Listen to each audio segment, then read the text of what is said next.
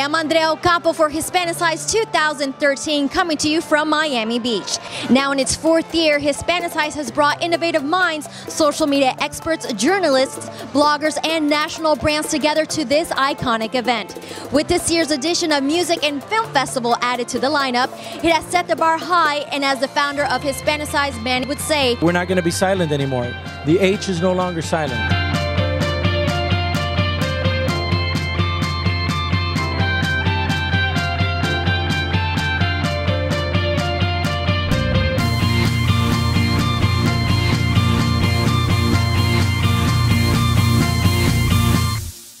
You know, I, I think Hispanicize is very special because it's the one time when folks from all walks of life, from all different industries, come together and discuss issues, find ways to work together, to collaborate, and again, to lift our community.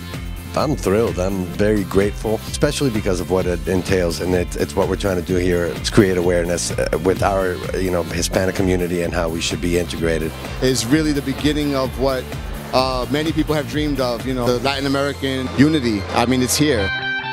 I'm an actor. I play. I, I do a show called The Glades here, and, and last year I came to Hispanicize, and I was completely blown away from it. Being a part of Hispanicize this year, it's just been an amazing experience. We look forward to 2014. I want them to feel that they found their voice, that they truly have a moment in history that they have to seize as Latinos. I think it's just wonderful that the community is coming together and celebrating, you know, the culture and celebrating uh, everything that we bring to the fabric of America. I'm Latino, um, and I represent the, the, the Latinos in this country, and I feel so proud. We often talk about the sort of the power of the demographics. There are just a lot of us and growing numbers. But but we have to think the next step, which is impact, which is power.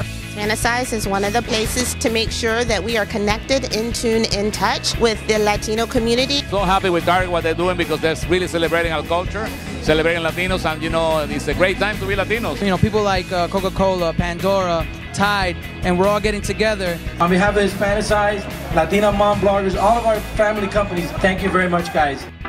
I am so excited to be here at Hispanicize. I'm so blessed that you guys are supporting us, and Philly Brown means the world to the Latino community. I mean, the connections, everyone here, it's it's been a great event. Developing those relationships with those people, it's uh, it's I mean, it's great.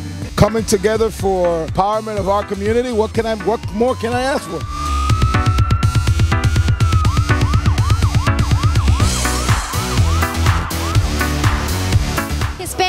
2013 has been an event like no other, confirming the power of uniting a multicultural community that strives for success by utilizing digital media and creating a growing network that has no boundaries.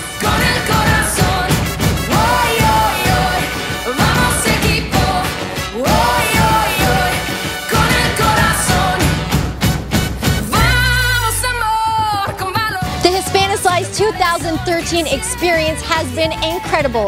Now the official countdown for Hispanicize 2014 begins now.